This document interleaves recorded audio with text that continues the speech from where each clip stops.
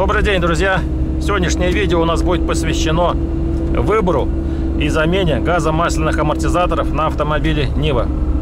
На своем автомобиле я проехал 33 тысячи километров и уже как километр, где-то примерно 1010 стал замечать, что автомобиль мой по полевой дороге стал спотыкаться именно перед. Или когда по трассе идешь, небольшая там кочка как-то вот, знаете, спотыкается. Вот, заехал э, на стенд, где проверяют амортизаторы. И, к сожалению, мои опасения подтвердились. То, что перед у меня остался примерно 20% работы, и там что-то 25% работы амортизаторы. Задние 40% работают. Так вот, э, заводы стоят газомасляные амортизаторы в круг на Ниве. Э, производство САС, по-моему.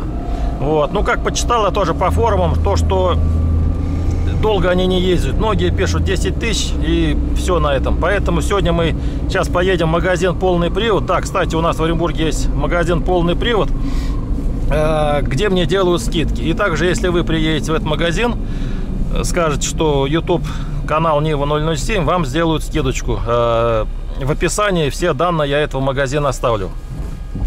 Все, поехали выбирать.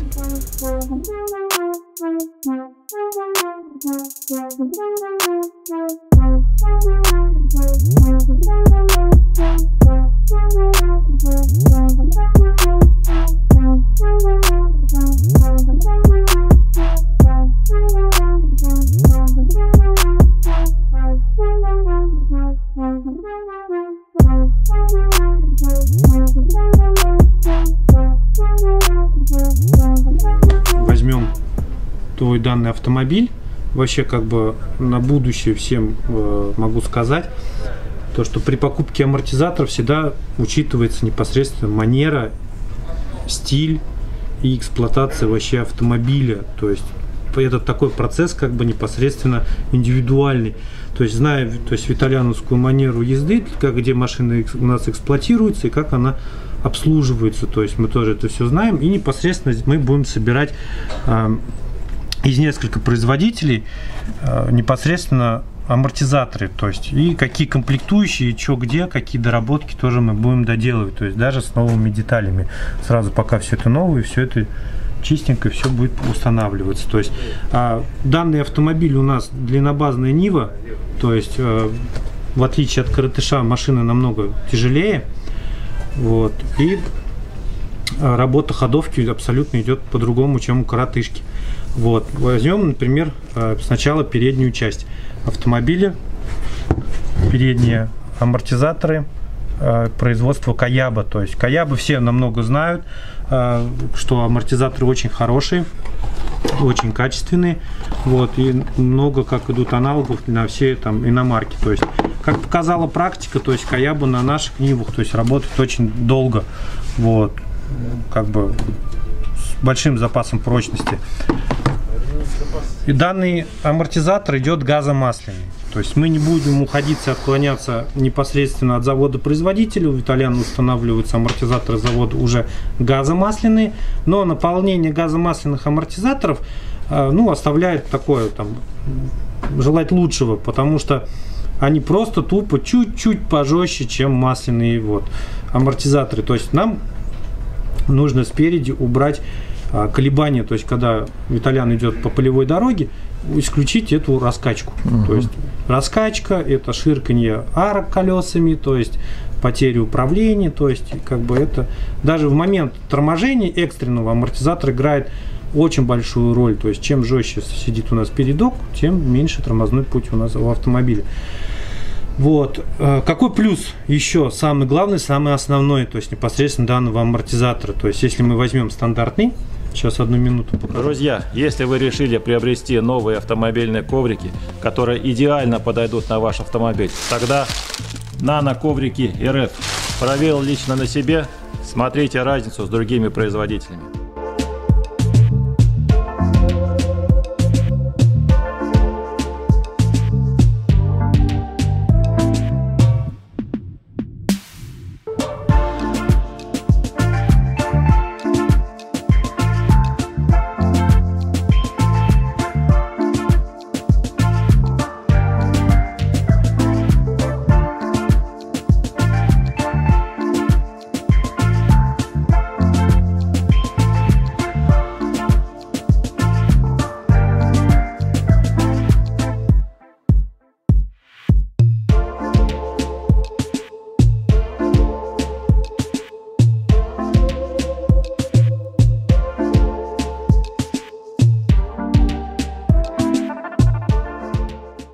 Друзья, давайте проведем эксперимент.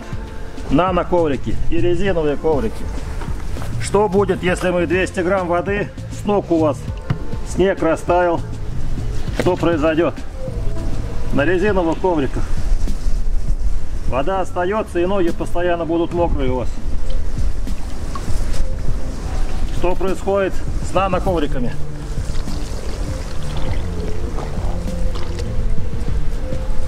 Вода рас распределяется по всем ячейкам, видите? И у вас ноги сухие. Все, воды-то нету, видите? Вся вода находится в ячейках. И чтобы ее выбросить, достаточно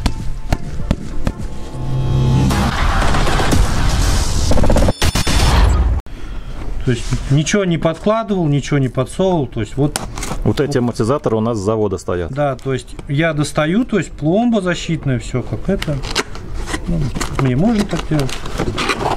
Здесь паспорт, все как положено. Угу. То есть вроде что, машина у нас внедорожник, джип, камни, песок, грязь, мрязь.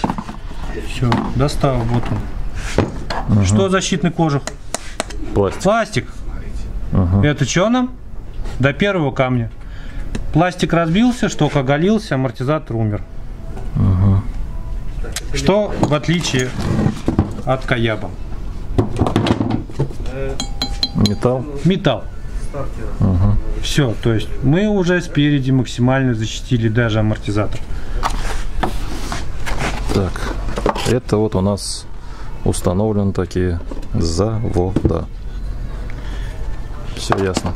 Здесь амортизатор газомасляный, прокачивается при установке газомасляного амортизатора, как на любые машины, то есть там прилагается инструкция, вот, это долго я не буду рассказывать, то есть, тем более, если это будут люди ставить в автосервисе, они это все это знают. Прокачали в одном положении, в другом положении, положили на бок, если кто-то будет uh-huh. сам делать, все, вся процедура заново. Все. Прокачиваем заново. И установка идет только в вертикальном положении. Прокачали вертикальную установку. Угу, понял. Все. В данный комплект амортизатор входит э, новые шайбы. Новые шайбочки. Верхняя, нижняя, резиночки и новый гаечка. Сюда. Почему эта железка здесь лежит? Да. Всем будет есть, сейчас есть, понятно. Есть, нюанс. есть небольшой нюанс, это причем как бы нигде не написано, нигде не прописано. Я считаю, что даже не маленький, а большой даже нюанс. Даже, наверное, большой. Чисто из живых людей, как все это дело да. дорабатывалось. Покажем что сразу. на Ниве, что на Шеве, кронштейн, крепление амортизатор, то есть Да, то есть часть. вот мы положили заводской, то есть у вас на машине также вот установлено все. Вот он идет да. кронштейн. Сюда, сюда крепится вверх. То есть теперь смотрим. Все прекрасно видят. И этот металлический стук. Собираем амортизатор, все как положено. Все штатное. Что тот, что этот буду еще точно так же собирать. То есть не только у Каяба, то есть ну и у завода данный недостаток существует. Все вот собрал. Ну, буду устанавливать вверх ногами, чтобы да, было давай. видно. Все, я вставляю. Видите, да, что у нас? Ставлю шток по центру. Ставлю резиночку, шайбочку. Да, ну, ну и, про, и процесс да. я там, ну, затягиваю от руки. То есть даже как бы сильно мы не тянули, резинка все равно будет выдавливаться, и у нас будет шток стучать об кронштейн. Да, конечно, не так. Да, не сильно. Но когда мы будем ехать с большой скоростью по полям, данная процедура будет происходить. То есть как мы это дело победили. Есть решение. Есть решение в любом магазине. Но лучше у нас, потому что у нас самый настоящий. Берем SS20. Все прекрасно знают продукцию. Очень хорошая, очень классная. Почему амортизатор Виталяну не э, советую устанавливать SS20? Некоторые кон кон конкретно приходят в магазин и просят SS20. Угу. Вот. Потому что SS20 делают масляные. Так, ну и смысл? Здесь резинка. Да, на этой резинке есть... Во-первых, втулка. Металлическая. Втулка, которая. И идет уже прорезиненный демпфер.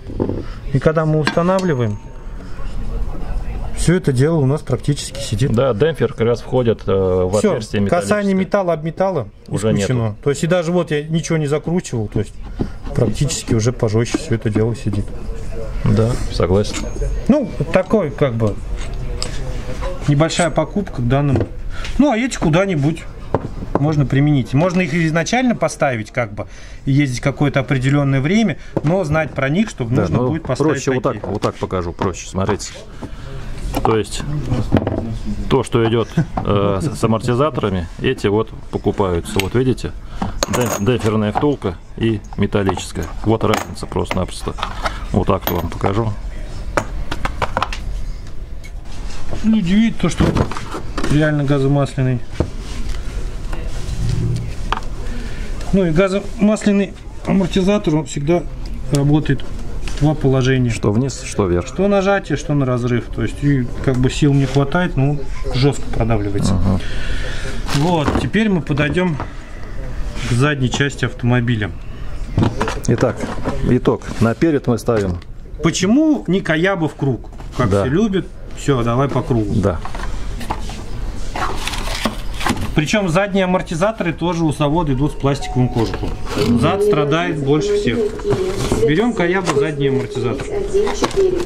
Все классный, все хороший.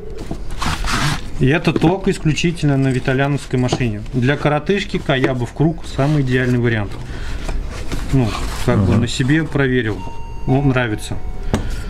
Каяба защитный кожух, также стальной, также газомасляный. То есть поршень не больше, то есть ну там не меньше, как бы все по стандарту.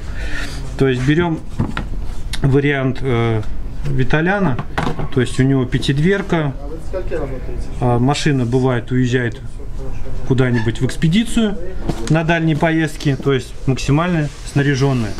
То есть и мы берем непосредственно Монро. Монро газомасляный. Да. Ну, для сравнения мы видим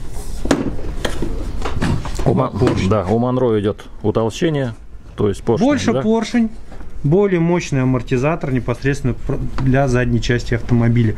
Потому что у нас она там грузится и как бы людьми тоже там снаряжается. Ну да, прицепы, То люди, есть нужен вещи. большой запас прочности. То есть, грубо говоря, мы в полтора раза от Каябы просто взяли больше запас прочности. Ага. Там, да, будет небольшая переплата. Вот, ну как бы а лишнего ничего это точно не будет, только большой плюс. Кожух также защитный, то есть у них идет. И то есть такая компоновка у Виталяна получается зад идет Монро, перед идет Каяба.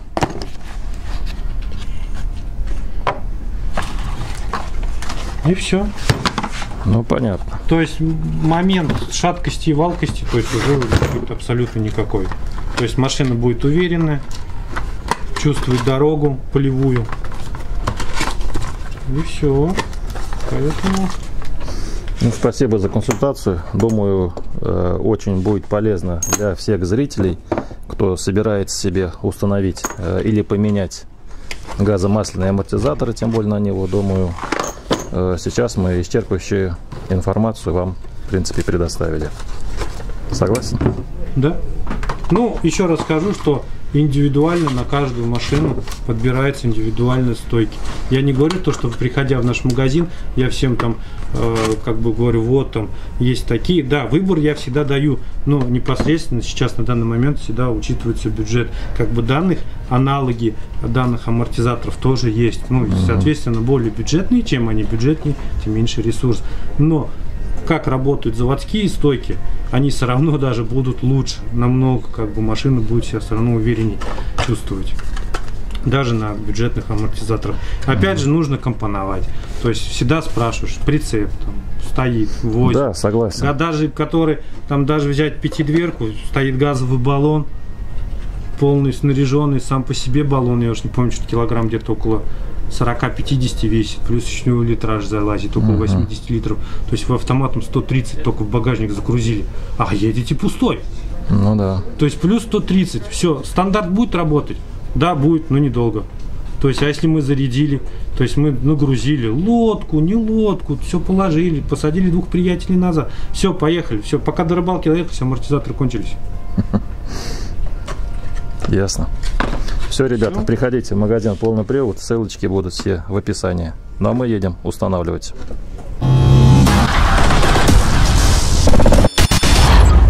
Приехал я к официальному дилеру в сер- в сервис. А, Поменять 4 стойки стоит примерно 1100 рублей. Примерно. А, Просто покажу, как меняется. То есть снимается колесо, откручивается верхняя гайка. Вот мы ее за- забрезгали. Откручивается нижняя гайка. И все. Вытаскивается, новый ставится. Здесь мы будем э, устанавливать резинки, которые мы с Аркадием разговаривали в магазине. Снимем, посмотрим. Так, здесь нужен специальный ключ, квадрат, да, сверху? Дим? Ну да, вот он. Сверху ставится квадрат или плоскогубцы какие-то, не знаю, конечно, этим удобнее будет.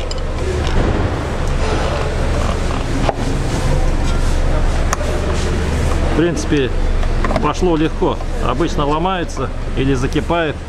Что в таких случаях делаете? Срезаете проще? Да, берем болгарочку.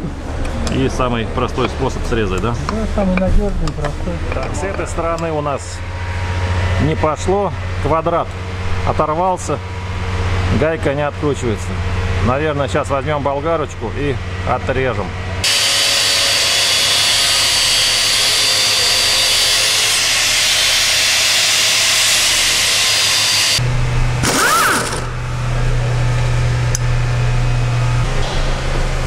Ну-ка. Итак, про что мы говорили? Вот про эту резинку без втулки. Здесь будем устанавливать. Ну да, то есть вот они родные стоят, которые. Да, да, но все как положено, с завода. Да. Мы установим вот эти. Так, Дим, здесь что за контора написано? СААС, да? Да. СААС. Ну все, все. Давай, ставим новые. Прокачиваем газомасляные амортизаторы. Комплект. Мотиватор. Так, тут всё. Резиночки.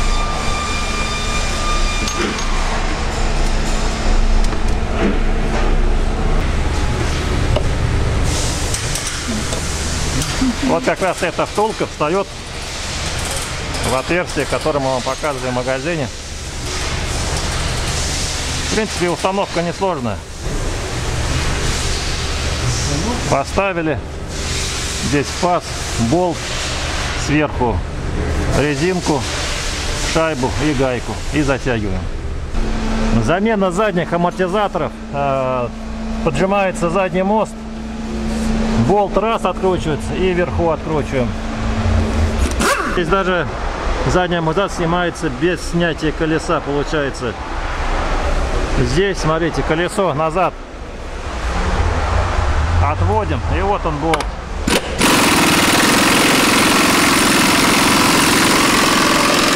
Так все просто оказалось с задним амортизатором. Болт э, закипел во втулке амортизатора, и мы на данный момент не можем его выкрутить. Поэтому сейчас, наверное, снимем колесо. Дим, и что, какие мысли, как поступим? Ох, ну это очень сложно. Будем пилить резать. Пол машины? Ладно, смотрим. Сейчас найдем круг, болгарочку и отпилим. Здесь без проблем, видите, открутилось, потому что недавно менял задний редуктор, в принципе, снимали. А вот вверху ни разу за три года никто этот болт не откручивал. И как эти нюансы решать, пока тоже как бы не знаю.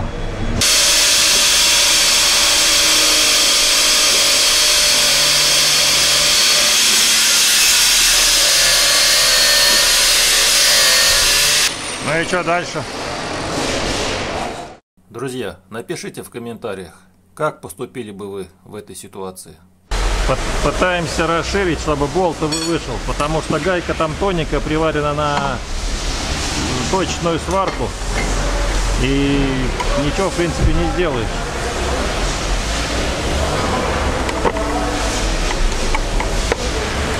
Такая вот хрень, короче. Ну вот, смотрите, что происходит, когда болт закипает. Вот всего лишь. Вон она гаечка там держится. Спасибо Дмитрию, конечно, что вот нахрен не послал, а добил до конца. Итак, что пришлось отпилить? Вот это вот проблема, видите, где болт закис, не прокручивается. Так, что Дмитрий решил, смотрите.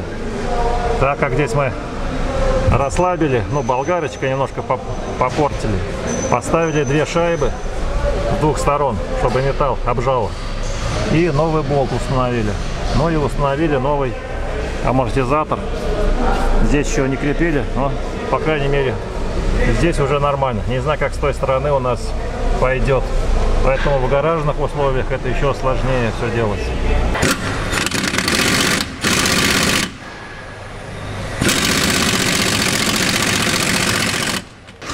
Так, ну что, с водительской стороны болты открутились легко, что низ, что вверх, в принципе, без проблем. Не пришлось ничего нам резать. Ой, слава богу. Да, Диме, дай бог здоровья, как говорится. Что, друзья, эпопея замены амортизаторов у меня подошла к заключительной фазе. Все мы заменили. Дима, тебе большое спасибо, что не отказал, что э, доделал работу свою до конца. Вот. И, конечно, вам интересно услышать от меня первое впечатление, да? Первое впечатление, автомобиль стал пожестче, реально пожестче.